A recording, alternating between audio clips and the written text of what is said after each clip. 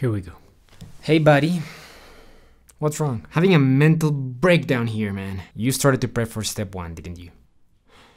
Knew it. I just don't know how to organize myself. I mean, like, look at this. There's too much stuff. Okay, calmación. Why don't you try something like the Lecturio 60-day learning path? Learning path. Yeah, it's like a study plan. They basically selected the most high-yield topics for step one and they organized them in a 60-day schedule. In each day, they show you which videos you have to study, which flashcards you have to review, and which questions you have to solve. So they basically organized everything for me, and all I need to do is just follow the path? Mm-hmm. Wow, that's actually really helpful. It is. So what do you say? Crisis averted? Crisis averted. For now.